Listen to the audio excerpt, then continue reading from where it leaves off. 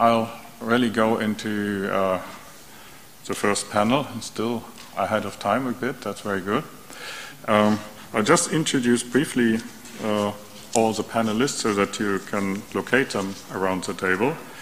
Uh, we have first uh, Florian Stahl and Stefan Burgmair representing the OWASP Top 10 Privacy Risks Project, and they will tell us, uh, can you just uh, make yourselves visible for a moment? Okay. Uh, then Hannes Tschofenig from ARM now, who's uh, deeply involved with the IETF and other internet activities. Jens Kubieziel, QB from the Tor project, Rob van Eijk from the Dutch Data Protection Authority, Joss Wright from the Oxford Internet Institute, and uh, Stéphane Petitcolas from CNIL, the French uh, Data Protection Authority. Um, the first, we, the, this first round um, is titled uh, where are the gaps between the existing tools and initiatives and what people actually need.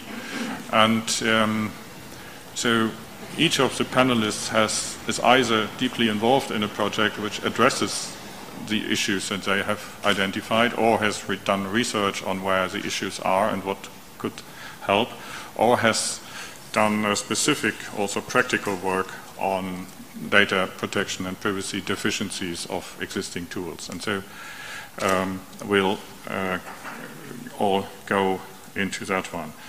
The format of this panel is that uh, each panelist, and Stefan and Florian count as uh, one in that respect, has uh, time for a five-minute introduction, and then we will immediately open the floor to everyone to ask questions. And um, as a rule of thumb, a question should take less than one minute to ask. And uh, um, we, will, we will close this, this panel with a round of answers by the, the panelists, which will then respond to all the issues that, that have been raised. It's, it's a format which doesn't allow to go very deep into the matter in this panel, but we have more time of discussion uh, in particular in the afternoon, to explore those matters uh, that are um, here. Um, my colleagues, uh, Gabriela Zanfir and uh, Snejana, um, are very well organized, and so they have uh, promised to make us benefit from this by keeping the time. So uh, speakers when they see that they move and pull one of the green cards, uh, then it's time to come close to an end. And when you see the red card, then it is time to really end uh, your intervention. Um, and um, for those outside and listening uh, in via the live stream, on the same page on the EDPS web site where the live stream is, there is the uh, um, a window to connect to the chat channel, which we have for Freenode on this event. And uh, my colleagues will follow this channel and will also read out any questions that come in through the chat channel so that they can also be brought into the discussion. So with that, I uh, stop with the technical uh, announcement. And um, I invite um, uh, Stefan and Florian to uh, take us uh, through their presentation, which is coming up on the on the screen behind me. Um, most of you will know OWASP, the Open well, I think no one knows anymore what the uh, acronym actually means, but uh, it's, on, it's, on, the slides. Uh, yeah, it will be somewhere on the slides, but uh, it's very one uh, the the top ten security risks uh, list, which is published every year, is one of the best known resources in the in the field of security problems, and it's like about a year ago that uh, these two guys with other volunteers have started working on identifying the top 10 privacy risks, and which is of course a very valuable project also to, to make it clear that uh, uh, privacy is more than security. And with that, uh, the floor is yours, please. Okay, thank you very much, Achim. So, as Achim already mentioned, my name is Florian Stahl. I'm coming from Munich, working as privacy and security consultant for MSG Systems there. I'm here together with Stefan, master student of the University of Applied Sciences Munich, or actually not anymore. He handed in his thesis yesterday. Um, yeah, and we're just going to give you a brief overview of uh, the OWASP Top 10 Privacy Risks Project. So uh, we can go to the next slide. And some of the background, um, Achim already mentioned, OWASP is mainly known for its top 10 risks of uh, security, security risks for web applications. It's kind of a standard already in many companies, uh, for many people. And actually, it's a bit more than a year ago that uh, I was wondering um, that there is no such a risk list for privacy risks, and it would be nice to have such a such a, such a list. So uh, that's the reason why we founded the OWASP Top 10 Privacy Risks early this year. And its goal is to identify the most important technical and organizational privacy risks for a web application. So it doesn't only focus on, on technical issues. And it's mainly uh, thought as a guidance for developers, architecture, but it could also be used as a checklist for users of web applications, also for legal departments, what risks they have to consider when dealing uh, with uh, web applications, which privacy risks. So actually the project so far was quite a success. We had nearly 100 privacy and security experts that participated in discussions and so on. We had a survey on the frequency of uh, risks, uh, of general risks in uh, web applications that 62 people participated. And uh, IPEN also liked what we were doing and uh, Achim contacted us and asked us if we don't want to join him in uh, organizing the Internet Privacy Engineering Network and also bringing in our results. Um, we don't have the time now to go uh, too deep into the method, but uh, we published um, the first version of our top 10 privacy risks um, last week, so and I just would like to give you a brief overview about them. Um, so we can go to the next slide. Um, and these are the top 10 risks so far. Um, the the first risk is web application vulnerabilities. Um, this is cross-site scripting, SQL injection, and all these things. The uh, second uh, rated risk is operator-sided data leakage. So this is a wide area. It uh, includes like insecure servers, back-end systems, uh, excessive administrator access, and things like that. Um, the third risk is insufficient data breach response. Uh, this are, uh, covers measures after an incident, like taking an web application offline or informing uh, users about uh, the data leakage. Um, the fourth risk is insufficient uh, deletion of personal data, that uh, personal data is not deleted completely, not at all, or not uh, securely. Um, the fifth risk is a really organizational risk that uh, there are non-transparent policies, terms and conditions, so that um, user is not aware what happens with his or her data. The sixth risk is uh, collection of data not required for the user consented purpose. For example, that a web shop um, collects data about browsing behavior and um, location data that the user is not aware of. Seventh risk is sharing of data with third party that uh, do not have control or appropriate um, privacy and security measures. Data that is not up to date anymore, incorrect, and therefore um, the ninth risk, uh, quite interesting one, I think. The web applications do not have uh, do have hidden logout button or not a really automatic data like uh, forever.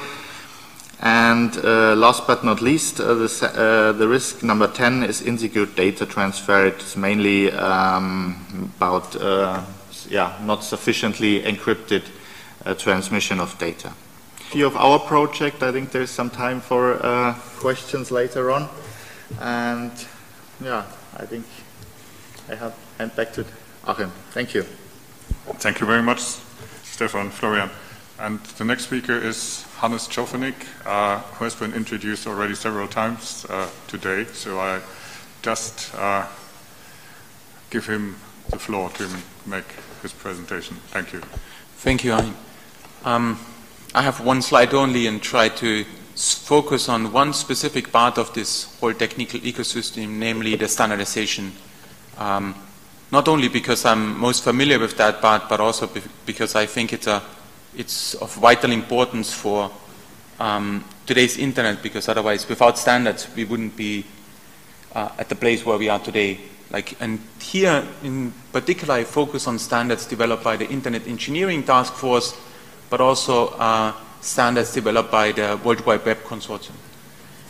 Um, the approach that was uh, taken in the IETF uh, initially was focused on security when people realized that that's the threat models change, the size of the, the internet changes, and so various different documents that I, I put them on the slide for you to look up uh, have been published that provide guidance on doing a threat assessment and uh, common security services and also mit mitigation techniques.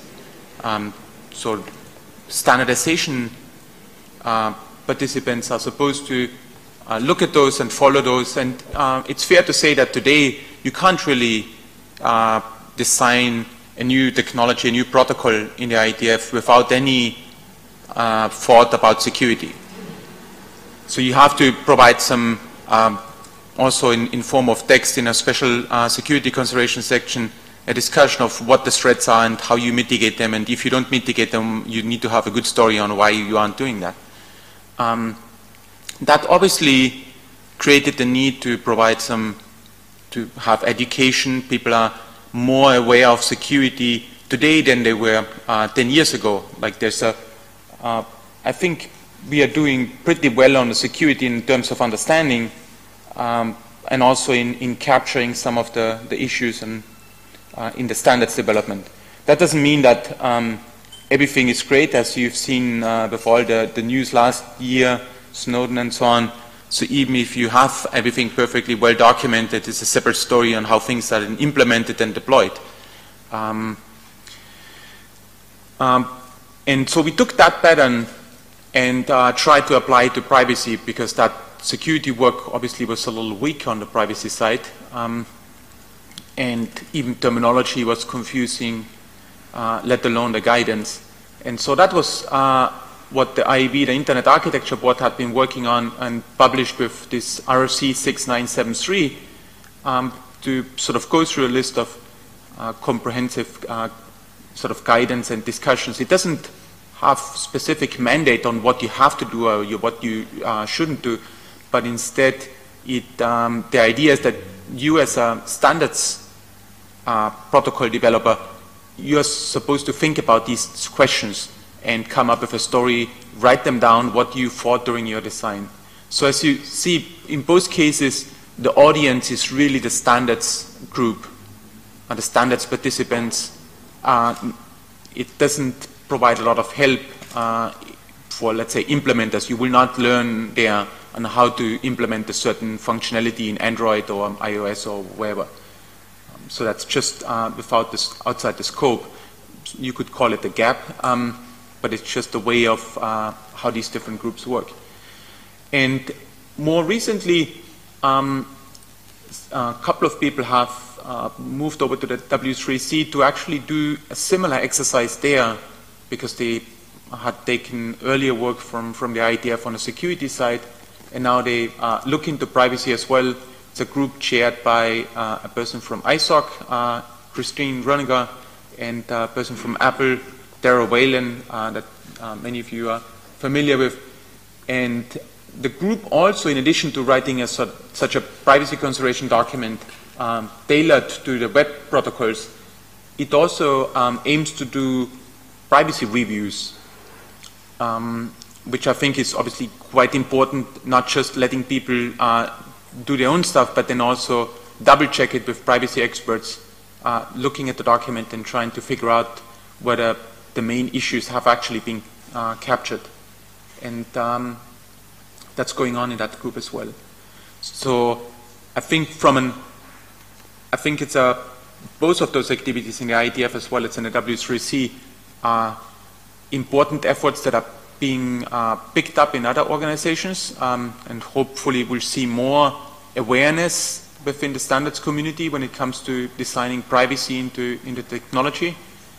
Um, on the other hand, as we've seen already with security, um, stopping there is, is not enough um, because you need to then follow the chain that happens afterwards from implementation to deployment to have uh, um, enough guidance for other communities, for other audiences.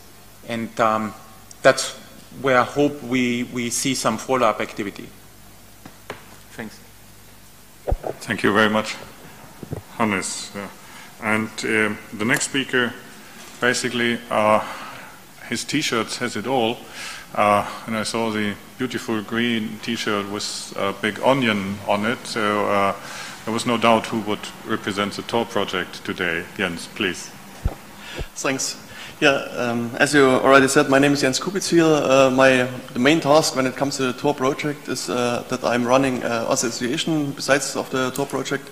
It's called uh, TorServers.net. It's a German association. We run it with uh, three persons, and what we do there is uh, we uh, operate Tor servers, Tor relays, Tor bridges throughout the world, and that the reason is that the Tor project should have some high capacity relays. Um, and that, that's what we are doing here. So I think the good point when it comes to Tor that everyone has heard about Tor in a more or less way. I think Tor is quite well known, well used, and also a well researched project.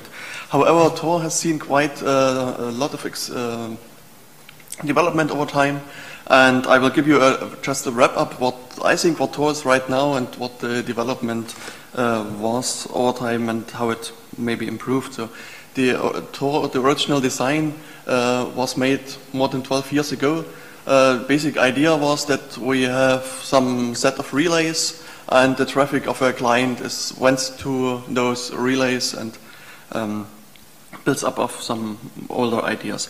But how does a relay know about, how does the Tor client know about relays? And the answer here are the so-called uh, directory servers, directory authorities. So first a Tor client went to a directory authority and says, well, give me please a list of all Tor relays which exists in the world. It gets this list and selects then three relays from that list and negotiates the um, uh, key with the first relay, builds a secured encrypted connection to it, and then extends it to the second uh, relay and then to the third relay, and uh, then goes up to the uh, normal internet. So that's the basic idea which uh, is behind Tor. It, was a little bit changed over time. Several researchers found attacks against it, but uh, the basic idea is the same. But on the user side, uh, the user got the software, the Tor software, had to download it, and in the first place, you have to download it and uh, configure your browser, set up a SOCKS proxy, and that worked a little bit. And some people found out, well, the early versions of Firefox do their DNS requests uh, away from Tor. They don't use Tor for DNS requests. So when even if you use Tor, your provider could see which sites you're browsing. So another part of software came into the field called Privoxy, which uh, prevented those DNS leaks. And, but also this solution had some weaknesses. Then the Tor button was developed. This was an, a plugin for the Firefox. And now we are at the point that when you go to the Tor website and click on download, there you get a software called Tor Browser Bundle. And it's a, a modified version of Mozilla. Uh, this is maintained by the Tor project.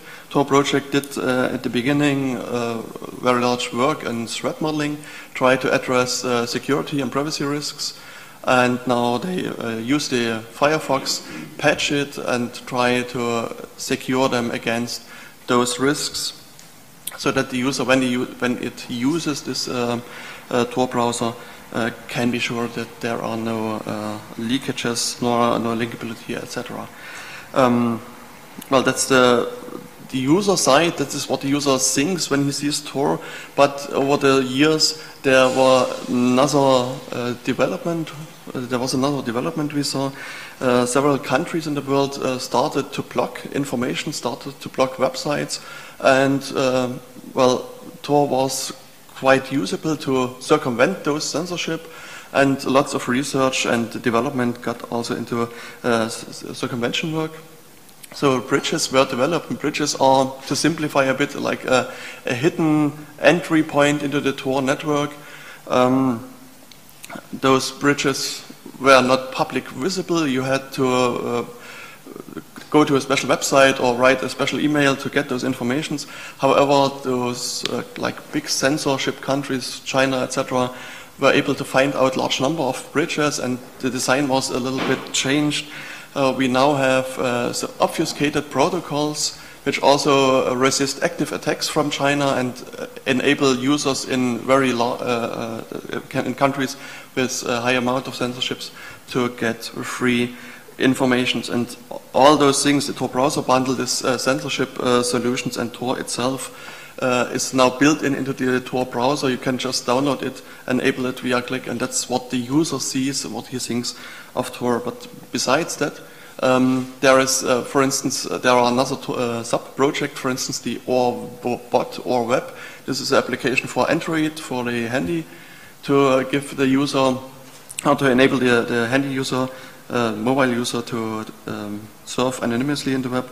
There's um, we measure censorship events. There's a project called OnionNew. Um, there is uh, Tor metrics where you can find some information about the current state of the Tor network.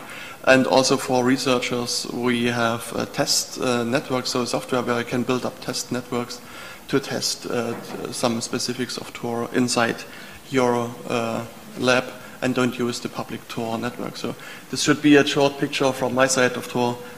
Open to question later on. Thank you very much, Jens. Uh, the next speaker is Rob van Eijk from the Dutch Data Protection Authority and also an IT person by his genes, I would say, or uh, at least as far as you can, to the extent that you have it under your control, and also deeply involved with developments at international level uh, by representing the Article 29 Working Party in the W3C DNT working group and lots of experience on internet uh, privacy. Rob, please.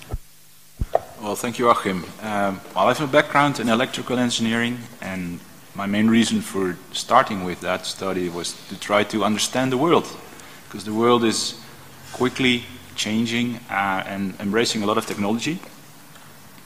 And the thing with uh, new technology is that it's important to understand what the nature of technology is and how it evolves.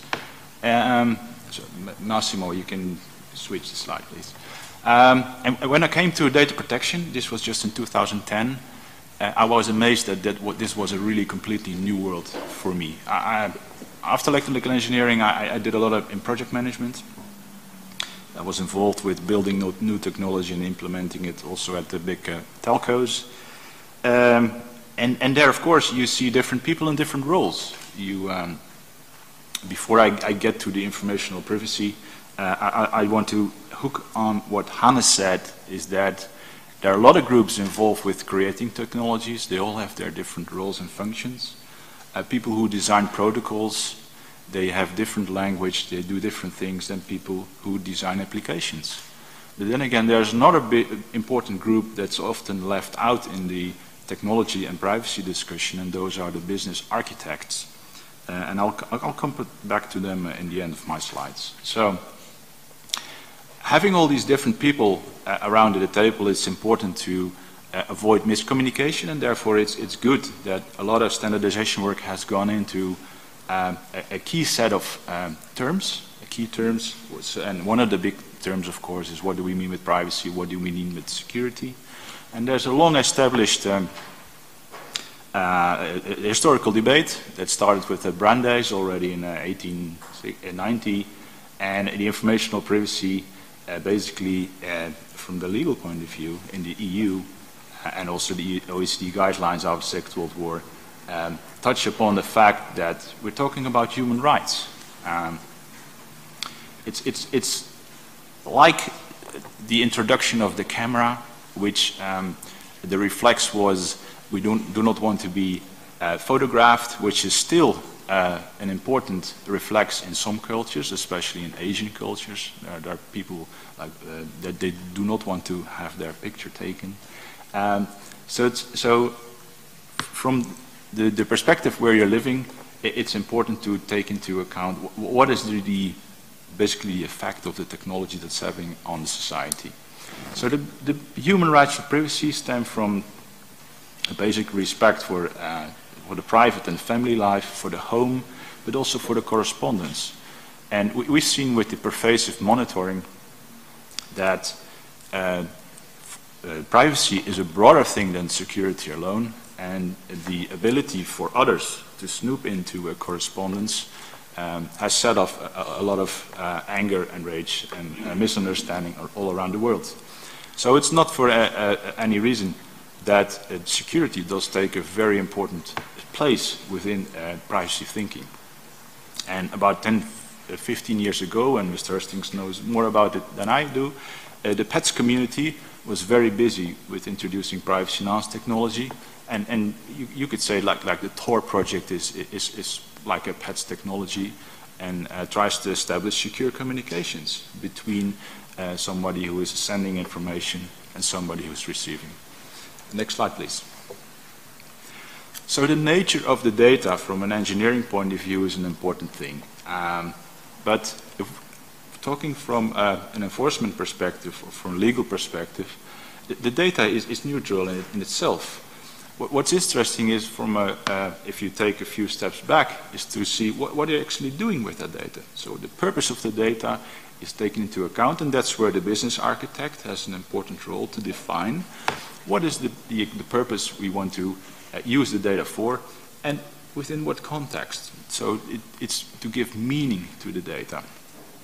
Um, and elements that, uh, when you do like a privacy impact assessment to identify risks in um, correspondence with like the, the, the, family life or with the, uh, uh with, with you, the personal life, you see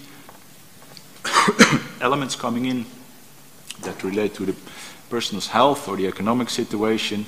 It's all very sensitive elements that um, if, if that information gets misused for different purposes or gets in the hands of uh, others that the information was not intended to, can cause harm to the individual. Next slide, please. So often when I um, discuss with uh, engineers uh, when we're uh, doing an appraisal of the technology. Um, we start by looking at the data flow. Where is the data coming from? When data is collected, and what is the? How is the data going through the system? Where is it stored? and it's important to understand that the uh, the privacy is is contextual and not the same everywhere. That means we have cultural differences. There are differences in, in uh, legal frameworks. And there's a global competition on new technology as well. And the compliance is therefore um, a challenge. Sorry. Please, next slide. I have one minute left, so. I wanted to point to some work of the Article 29, um, and especially some of the um, opinions that uh, the group has been working on for the last two years. Um, there's a lot of guidance in these opinions, a lot of practical use cases as well. And uh, I invite everybody to, uh, to, to, become familiar with these use cases because they may become very helpful in trying to understand each other and trying to make sure we work on the, on the same uh, things. So the purpose limitation opinion, anonymization techniques is a very recent one. The legitimate interest and the uh, uh, application of the necessity and proportionality concepts are all opinions that have been established in a consensus between all the uh, member states. And, uh, well, sorry, I'm having a little bit of a bad throat from uh, last night. so the emphasis is on the use cases. Um, and they try to explain that within different contexts, privacy can have different meanings. Thank you. Thank you very much, Rob. And um, yeah, we'll see more of your uh, perspective uh, this afternoon in one of the uh, challenging conversations, as I would, would call it, but uh, come back to that later. Uh, the next speaker is uh, Joss Wright from the Oxford Internet Institute. He's a researcher uh, uh, known for his interest in cryptography and privacy-enhancing technologies in particular. Joss, the floor is yours. Thank you. Um, okay, so I have come to this from a slightly um, eclectic background in, in a variety of different projects to do with, with, with privacy um, from the work at the OII. Um, the OII, for people who aren't familiar with it, is actually a, a social science uh, department at the University of Oxford um, that looks at the internet from a variety of different angles, from economic, um, sociological, psychological, um, political science aspects of the internet. Um, I'm a computer science hiding out in the social science faculty there. Um, in the time that I've been at the OII, I've worked on a number of projects related to privacy, um, which has worked um, on, in everything from doing privacy impact assessment work for EU surveillance projects um, through uh, advice on ethical and privacy enhanced handling of data for big data projects like the, um, the, the Google's measurement lab. Um, I also took part in, in the Europrize scheme, which I haven't heard mentioned so far in, in, in the technical discussions today, but the Europrize is a, a privacy seal um, developed within Europe that can be awarded to institutions or technologies to, to certify that they are um, developed according to privacy best practice. Um, so I'm, I'm not going to focus on a specific project. I thought I would, I talk a little bit about the, um, the general feeling I have about the technology and the problems that we have with it. Um, and I think that the title of this, of this session is, is, is very apt, which is the focus on the gaps. And I think it's, it's worth remembering that um, the gaps in our models are nearly always where, where evil occurs. Um, it's, it's not individuals who are sitting somewhere making evil decisions in general. It's when people are making perfectly reasonable decisions, but in an institutional structure, the gaps between those decisions and the misunderstandings between those de decisions are what causes, are what causes problems. Um, so, in thinking about technologies and approaches to preserving privacy. Um, I think there are a number of significant gaps that I'd like to, to make explicit, although they've come up in all of the presentations that have, that have been uh, given so far. Um, the first gap that I always notice when I'm talking about privacy technologies is this difference between the focus on data anonymization, the things that I would think fit most directly into um, the data protection consideration, and uh, the form of data protection that is considered by things like the Tor project, where you're talking about traffic analysis, um, about uh, resistance to state surveillance, you're talking about that, that kind of issue.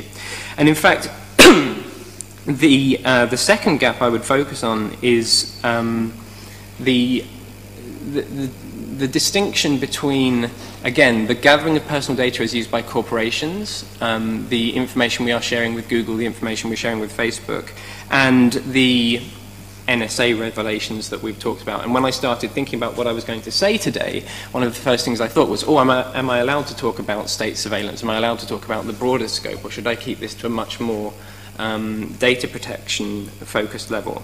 But I think that what the, um, the NSA revelations and particularly the PRISM program show is that data protection and state surveillance uh, are increasingly becoming a single issue.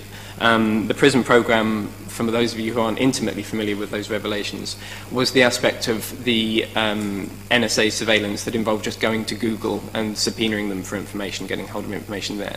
So the data protection issues aren't necessarily framed entirely around just our control of data when we share it with corporations. It does move over into larger societal issues of, of what the government can do with you.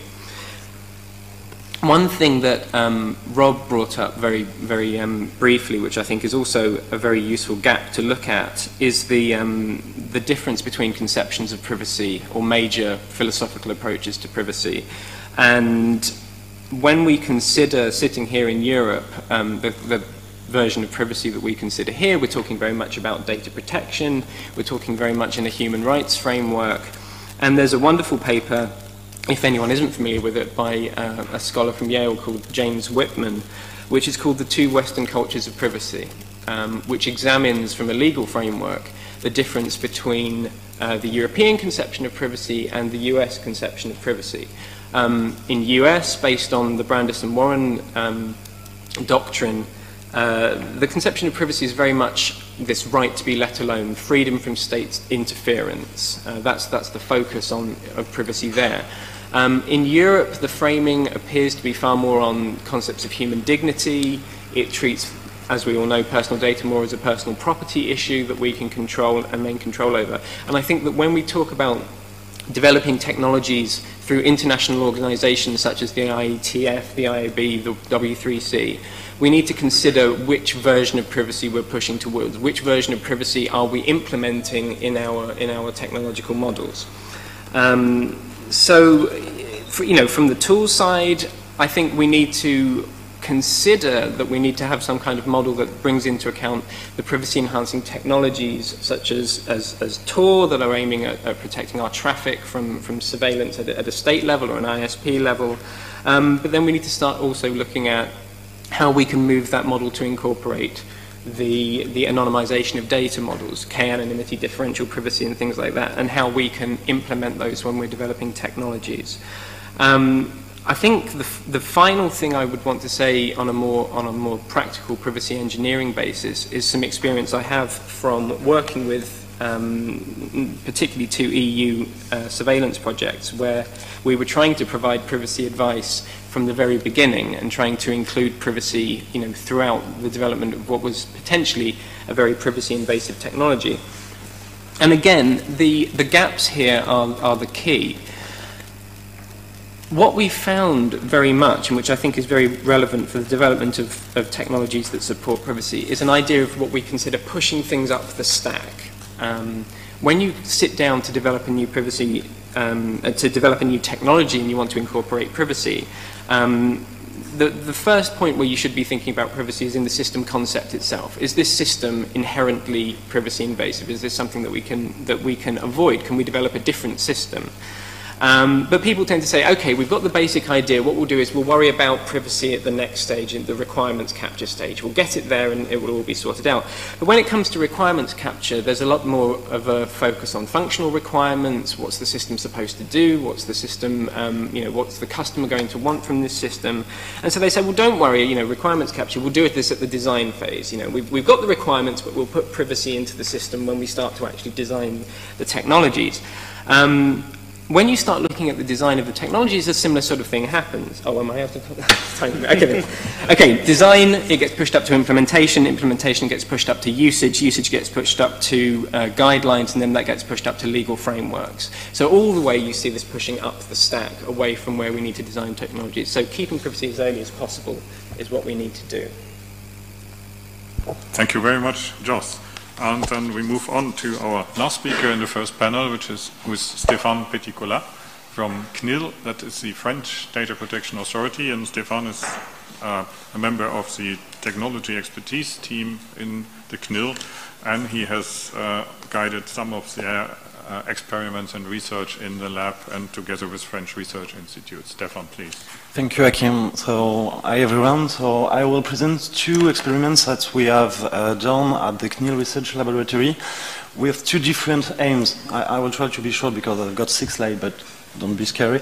So, the first thing is about mobile. We, we work with INRIA, which is a French uh, research agency, because we think that smartphones are black boxes for users, but also for regulators. And how can we uh, give some requirements, a recommendation, if we don't know how it works?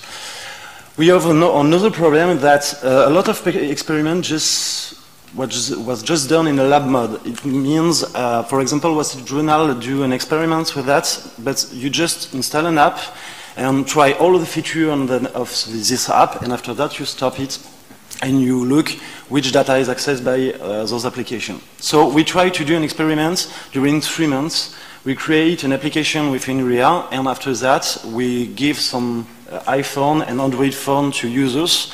And during, during three months, all of users use uh, this smartphone as his own smartphone.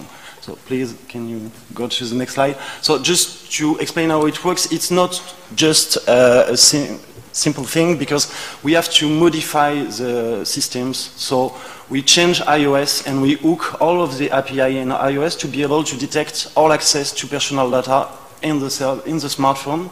And we also hook all internet connection to be able to see if, for example, an application access to location, okay, the application access to location, but if someone gets this location, is this the developers of application, a third party? So it's really interesting because it's very different if you look at that at privacy. So we're doing that during three months, and if you can go to the next slide, we've got a lot of results. So this, uh, this result is just for iOS 5, so it's a little bit old results, but we are actually doing the same thing for Android, and we just finished the three months uh, testing. But what we have seen, the first thing is all applications of the smartphone as using internet. You will say, you will say, of course, but it's quite strange because a lot of users uh, install, for example, games, and a lot of games use internet. Why games use internet? Because you just have all, all the information in your phone. Uh, a lot of applications use the UDID, so now the UDID is not, uh, you, can, you can't access to the UDID on iOS, but an interesting thing that we have discovered on Android, we ask to uh, all of actors to allow users to choose to limitate the usage of uh, the identifiers for um, different purposes. And we discover in Android, if you choose to have a different identifier in all of your apps, for example, if you use Google Maps, you will not have the same unique identifier than if you use, uh, I don't know, uh, Safari or other application. But we, we discover, when we do that, we do that to allow users to uh, protect ourselves against third-party uh, third-party actors.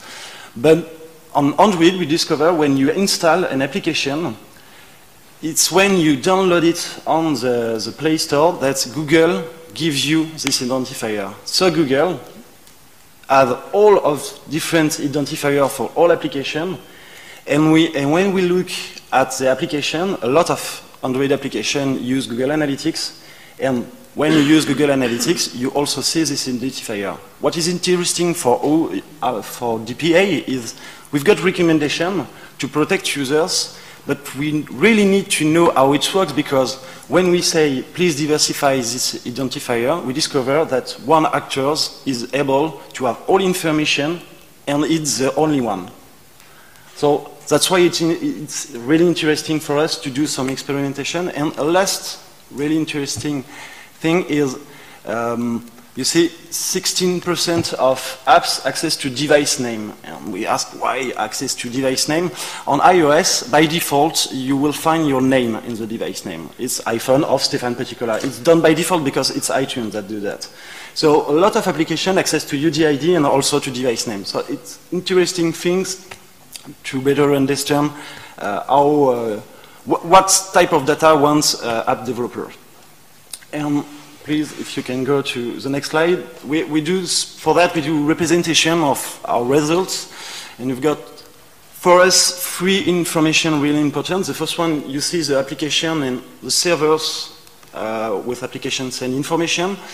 You've got the location of the servers. It's really important if you, you want to have a, an overview of state uh, surveillance. And also the application that uh, the, um, the data that application access.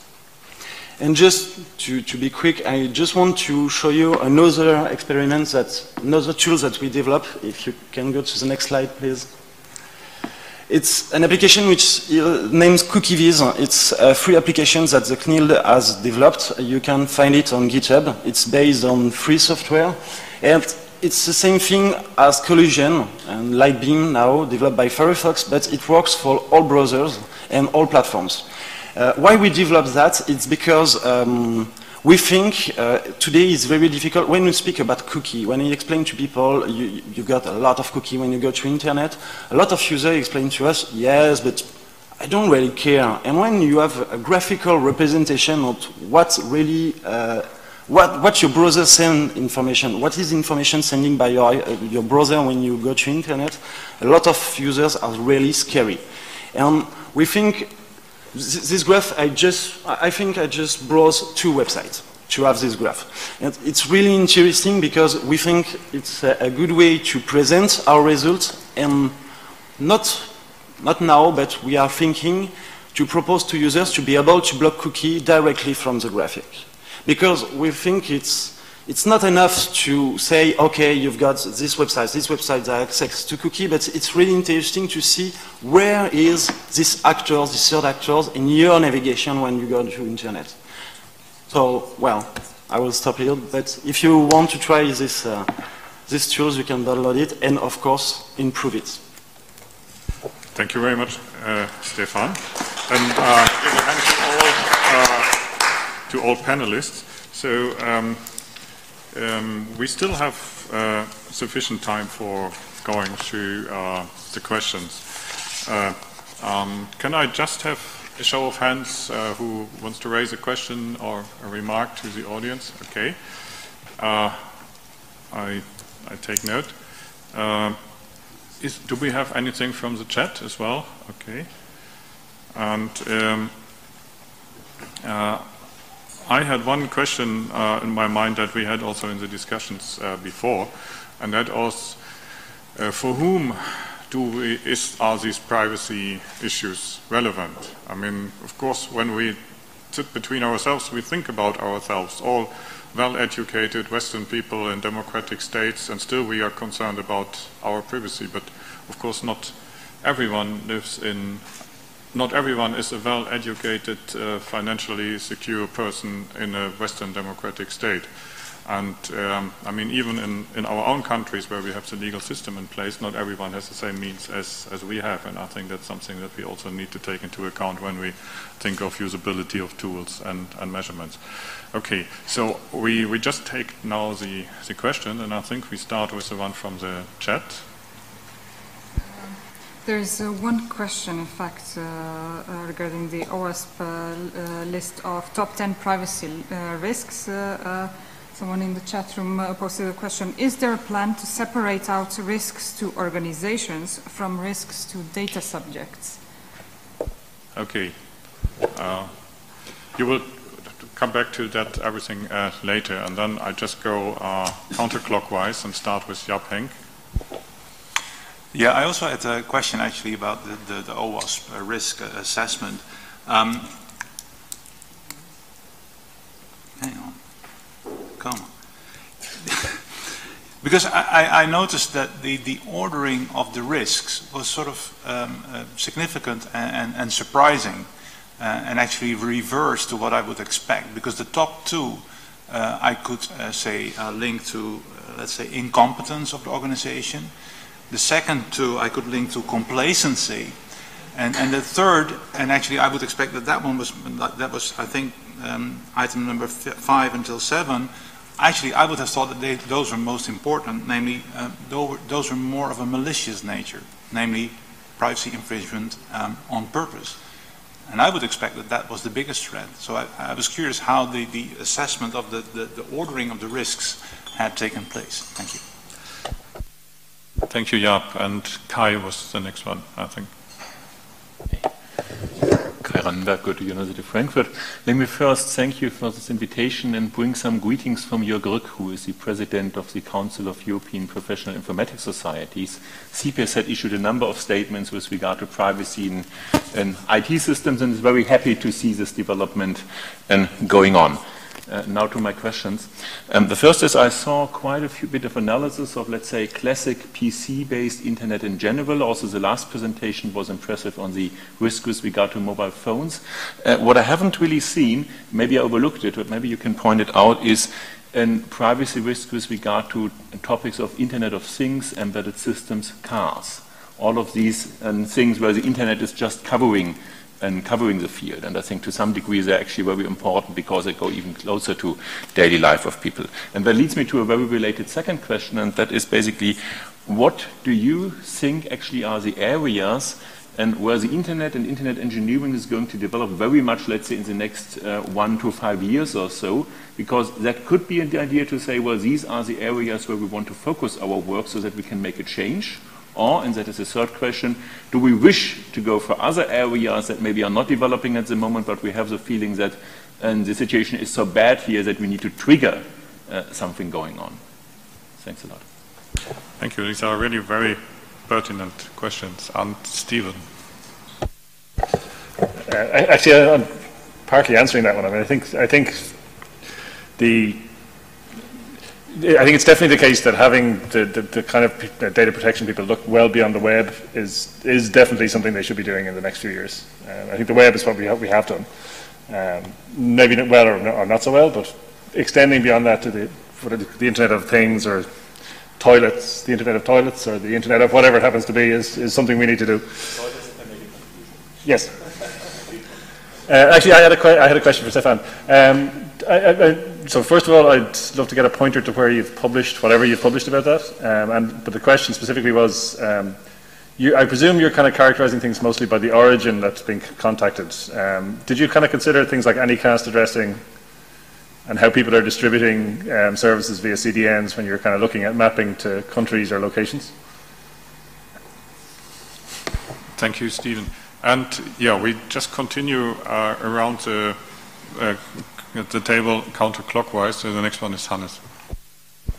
Um, specifically on, on, the gaps, uh, there were two um, questions that came to my mind when I heard uh, Joss's talks and also Stefan's talk. Um, I would be interested to hear on um, whether there's any attempt made to identify sort of areas of research. Like you obviously had uh, identified this area of research and then you had done it yourself or, or at least uh, subcontracted to university.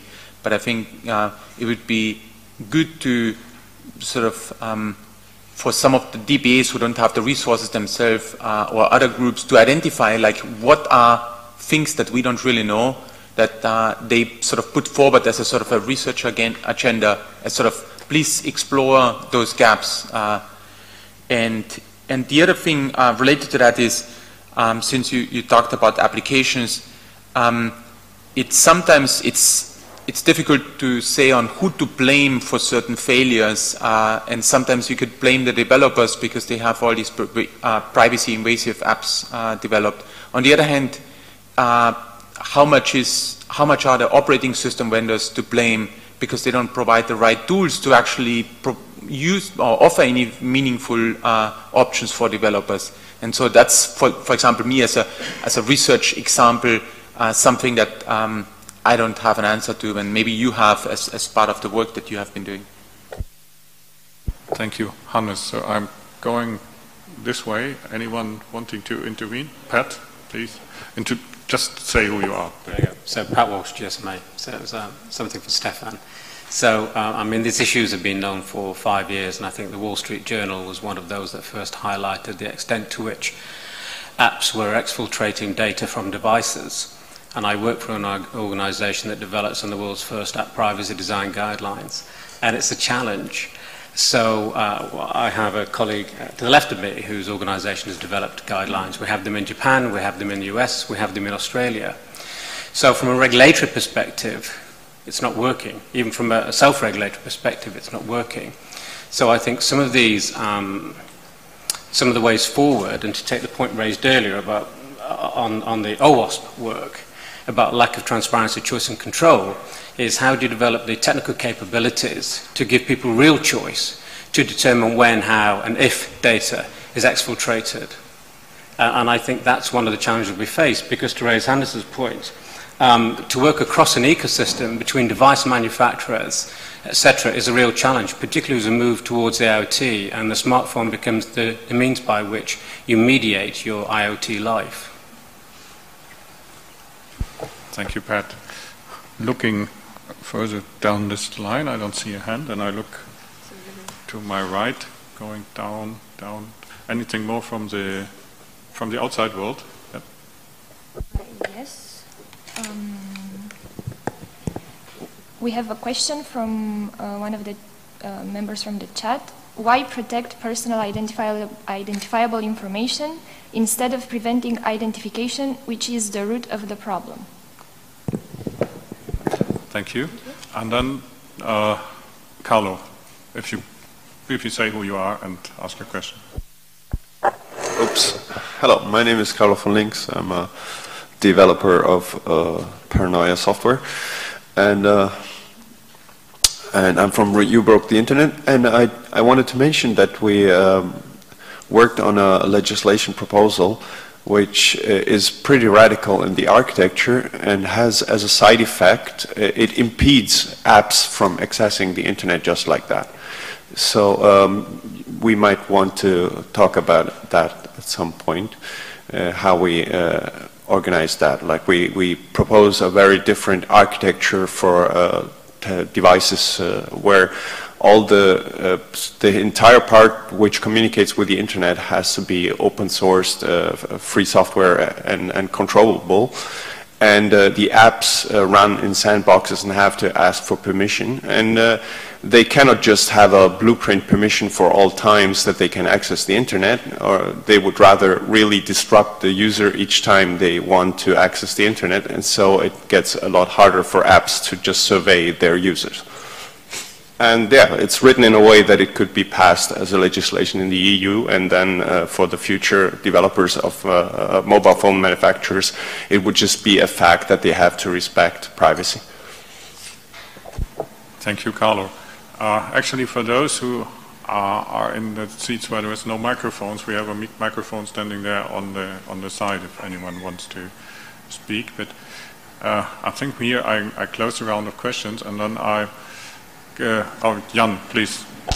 One, one point to add, since we're in the gap analysis session also, and we were trying to um, brainstorm on threats. Um, one observation I'd like to make, since uh, Peter also mentioned that we want to approach the topic of surveillance is, and partly answering the question from the stream is, um, that the concept of identifiability may not be enough anymore. We have two um, core problems that we don't address with current legislation.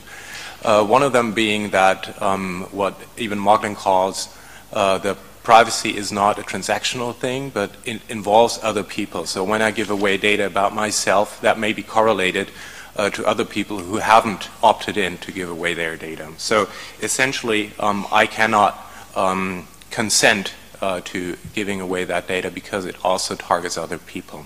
The other aspect is that even if we lose the identifiability, so if somebody collects data about me and I pseudonymizes or aggregates towards anonymization, um, that data still uh, entails information about other people that can again be correlated. So these are current gaps that we see in legislation that we aren't discussing uh, in the in the technical sphere as well either um, and um, that we should be looking into, especially if we're looking into um, state surveillance. Thanks.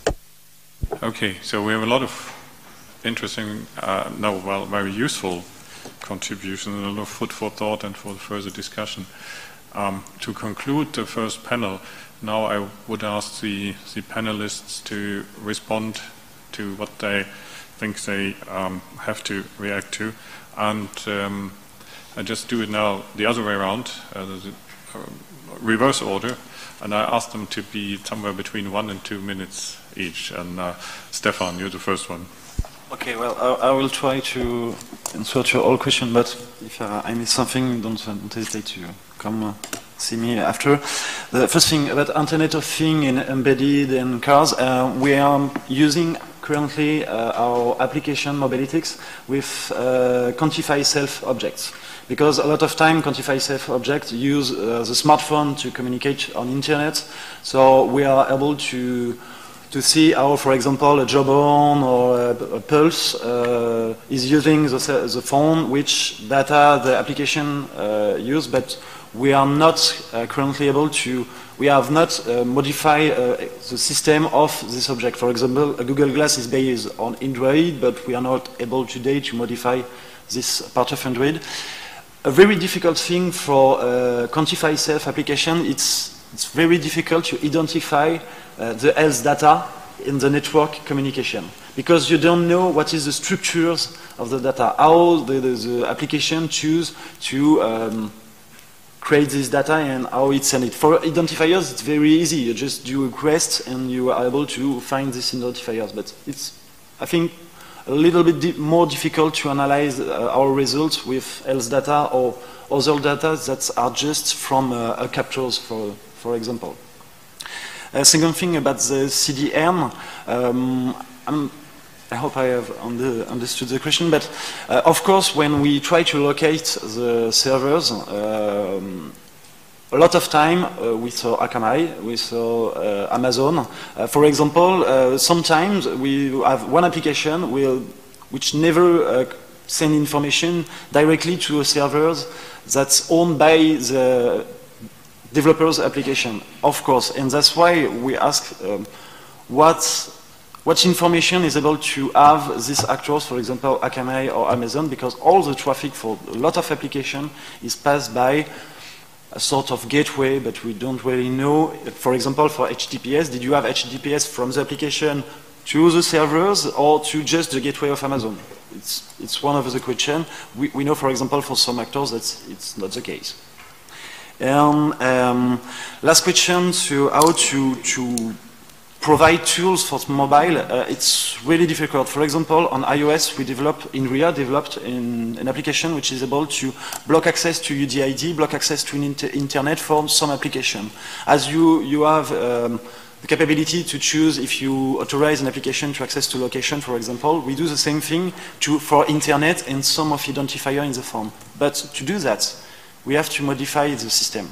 We have to jailbreak the form. And it's your question, Ernst. How how can we better protect users if the systems don't allow us to do that?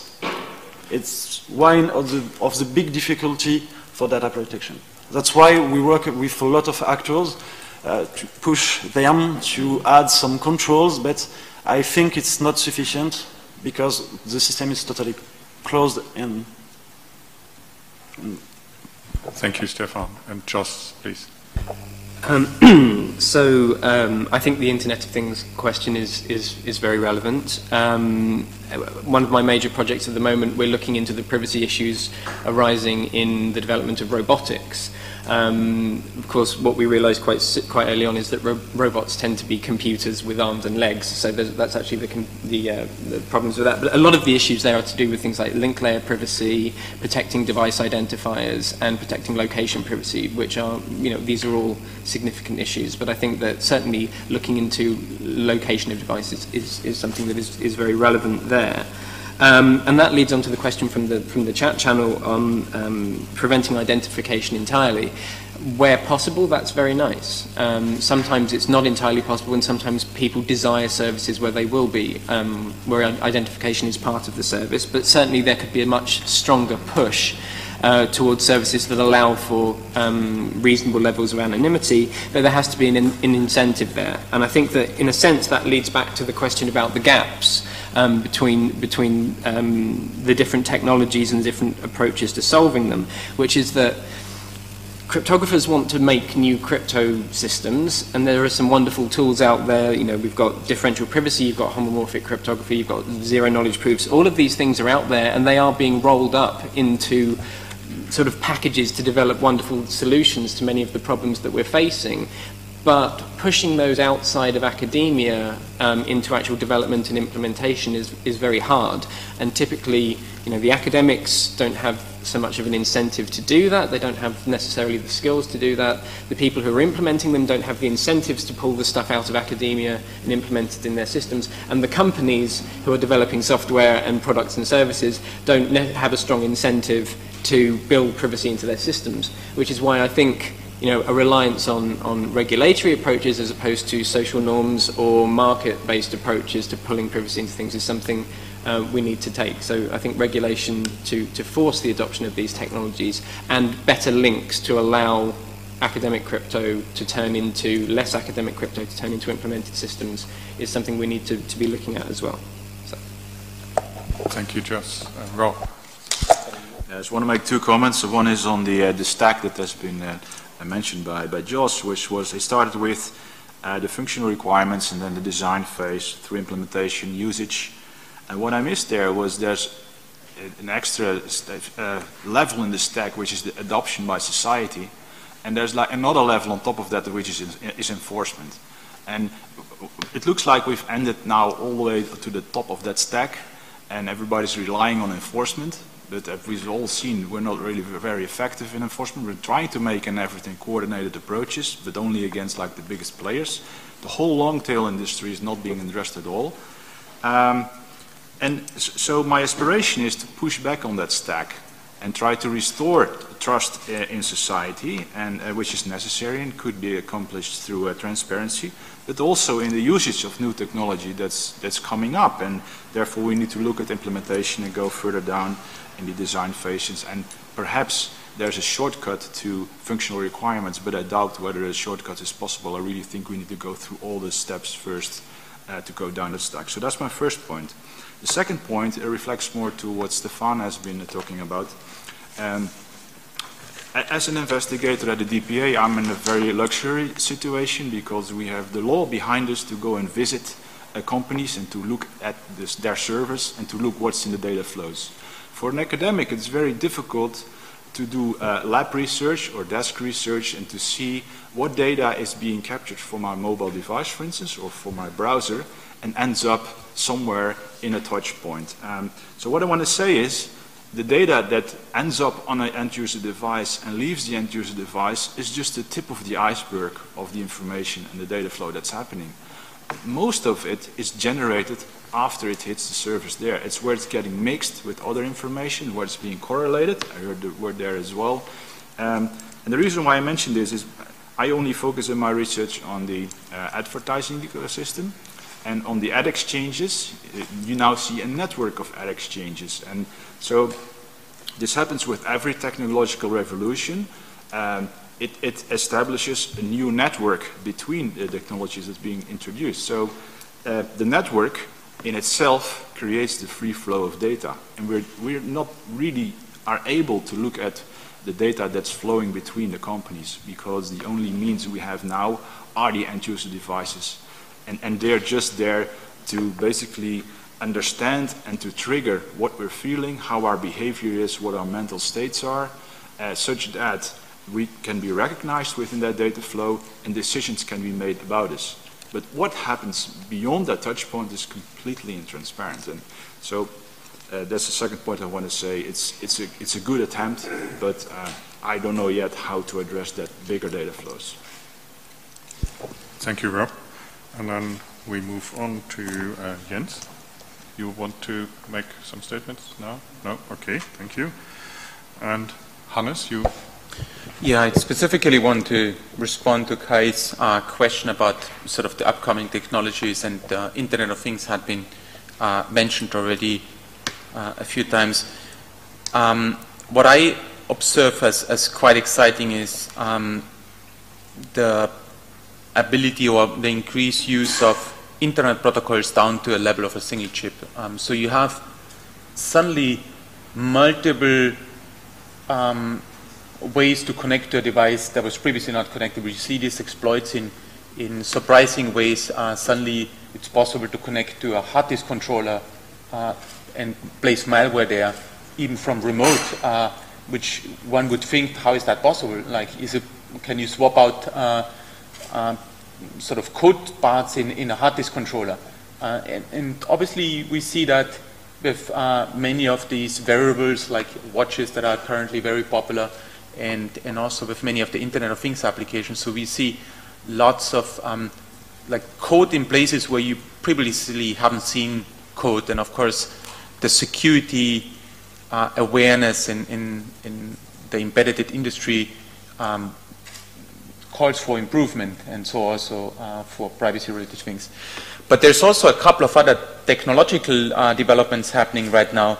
There's a new attempt being made uh, to improve authentication on, on the web and, and on the internet in general uh, in, in context of uh, the web crypto API FIDO. So that may have uh, new possibilities for identification if successful, of, but of course it could have other positive benefits uh, in improved security overall um, to remove phishing and, and password-related uh, attacks. Um, there's also uh, lots of exciting debates uh, in context of the new version of the, the HTTP protocol and the uh, um, utilization of proxies and what proxies are allowed to do and what they are not allowed to do. So you, you see them on a, on a, broader technology level uh, uh, developments, but also at the level of single um, protocols where things are reworked and redesigned, including the new version of transport layer security as well. So there are, there are few things to uh, keep an eye on. Thank you, Hannes. And uh, Stefan Florian. Okay, I'm just going to answer the two OWASP questions uh, shortly. Um, first, if we plan to separate the risks for users and companies, uh, the short answer is no. We uh, consider it, but we didn't do it for two reasons. At first, we wanted to keep it as simple as possible because if it's complex, if it, if it gets complex, nobody will use it. And we also wanted to avoid, of course, that companies only focus on, on their own risks and do not consider the risks that are, uh, that are important for the, uh, for the users. Uh, actually, we considered in the impact rating, we have a 60% impact rating is based on the user risks and 40% on the company's risks. So there is a bit more focus on the user risk, but in general, we don't plan to separate that. And then the second question about the, the rating or the order of the risks. Um, at first, we have to say it is not really based on statistical data because there has there's no statistical data about that. So it's an expert rating. Of course, that can have an influence. And, and especially the web application vulnerabilities that you said, okay, you might rate it a bit lower. Um, actually, the frequency of these uh, of this first risks was, was a bit lower rated than other risks, but the impact was higher, so that actually led to the fact that it ended up uh, yeah, at the top of the list. But of course, it's an expert rating, so not based on statistical data. Thank you. So we, um, uh, we quickly conclude this panel, and uh, I want to make a suggestion. Um, I heard uh, in particular uh, a couple of issues uh, for further discussion and further work, and one was the question of what would be the priorities for privacy-related development research for the next two or three years. Another one was uh, which technical methodologies would be appropriate and uh, how do we, what do we understand about the adoption model? How do we actually uh, make these things become part of the reality? These were kind of two three overarching questions, I'm sorry, that I heard, and I invite uh, people to write on the three flip charts next to the entrance um, the titles of what I just said on the top and then maybe write their names of those who want to participate in that discussion, which we will then uh, continue through the mailing list that we have or other appropriate means after, the, uh, after this workshop to make sure that the momentum doesn't go away.